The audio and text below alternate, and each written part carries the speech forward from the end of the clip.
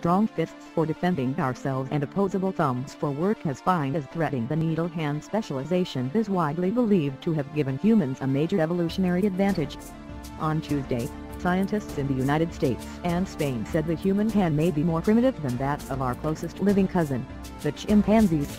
In fact, human hands are likely more similar to those of the last common ancestor we and chimps shared millions of years ago. These findings indicate that the structure of the modern human hand is largely primitive in nature, rather than the result of selective pressures in the context of stone tool making, said a press summary from the journal Nature Communications, which published the study. In fact, it is the hands of chimps and orangutans that changed most since they split off to form new branches of the hominid family tree developing longer fingers, compared to the thumb, for swinging on tree branches. The human hand has a longer thumb relative to the other fingers than that of chimps and other apes allowing for what scientists call pad-to-pad -pad precision grasping, which simply means that our fingertips are able to touch.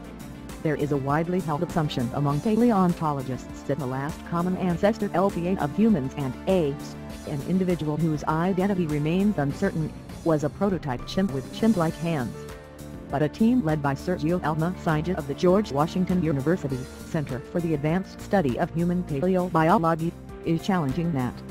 They analyzed the hand length proportions of humans, as well as living and fossil apes to draw a picture of the evolutionary history, and found the human thumb-to-digits ratio required little change since the LCA. The inevitable implication is that when hominins the extended human family excluding apes started producing flaked stone tools in a systematic fashion, probably as early as 3.3 million years ago, their hands were in terms of overall proportion pretty much like ours today, Almecija told AFP by email.